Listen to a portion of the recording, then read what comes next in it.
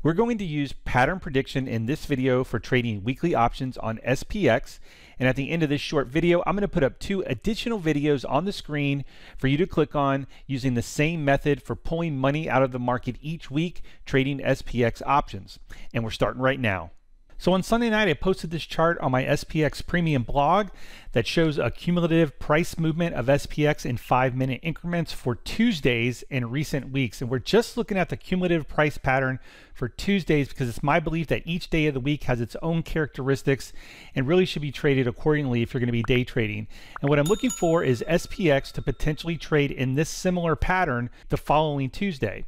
So the general idea here is that if in the morning SPX looks to be tracking this recent five minute price action from the past few weeks, which is what this chart is showing, I'll be able to establish a directional bias to look to sell same day credit spreads on SPX, also known as zero DTE.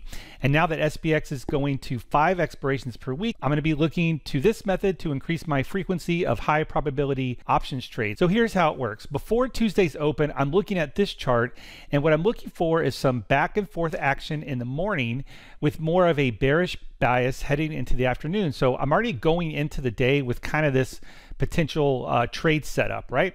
And at this point, I'm looking to sell zero DTE call credit spreads if a similar pattern starts to form. Now let's go ahead and take a look at the chart to see how this played out. So here's the five minute chart of SPX, and this is how the market played out on this particular Tuesday.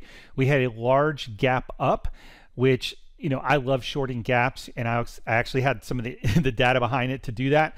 So we had a large gap up. I'd already marked off a couple levels here, and essentially, you know, we had a gap window, and then a gap fill was way up here. I didn't think we were going to get there, but regardless, the pattern started to play out. We had a gap up, we kind of pulled back, and then started to rally again. Now, there's another sort of uh, strategy here that kind of feeds into the bearish bias, and that's the opening range breakout.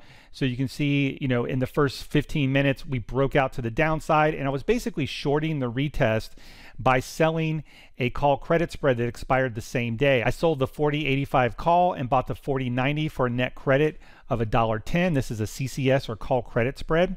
And that was essentially looking for uh, time to decay or get the move. And in this case, I actually got the move and was able to close it about whatever, seven, eight bars later uh, which is about an hour or so. I was able to buy that spread back for about 40 cents. So I sold it for $1.10 and I was able to buy it back for 40 cents. Let's do some quick credit spread math to kind of understand the risk reward here.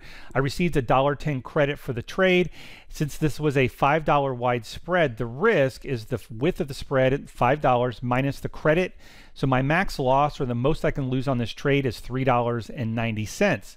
Now the profit of this trade was the difference between the credit I received, the $1.10 minus what I bought it back for, which was 40 cents. So my profit on this trade was 70 cents, less commissions, of course.